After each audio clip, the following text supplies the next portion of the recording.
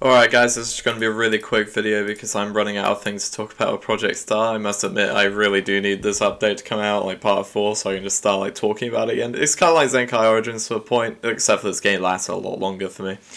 So basically, this is just going to be how to grind money very quickly. Um, the best method that I've personally found and was grind grinding me tens of thousands. I haven't really even like tried to go hard on this one, but basically you just want to repeat the uh, pet shop and vanilla ice quests and then server hop. So basically, you, load into a server, run to uh, run to Abdol, do the quest, run to Polnareff, do the quest, and then basically just server hop to another server.